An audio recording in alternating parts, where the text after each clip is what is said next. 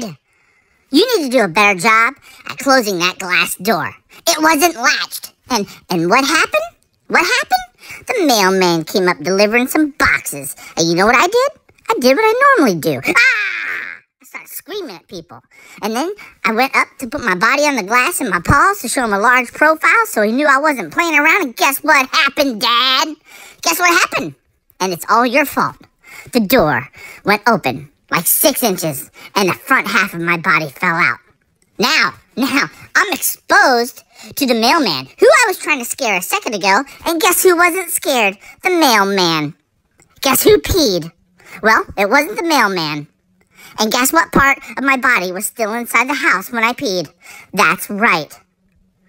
I was scared to death. I was like, hey, uh, Mr. Mailman, have you always lived here in St. Louis? Um, have you always been tall? Do you have any kids?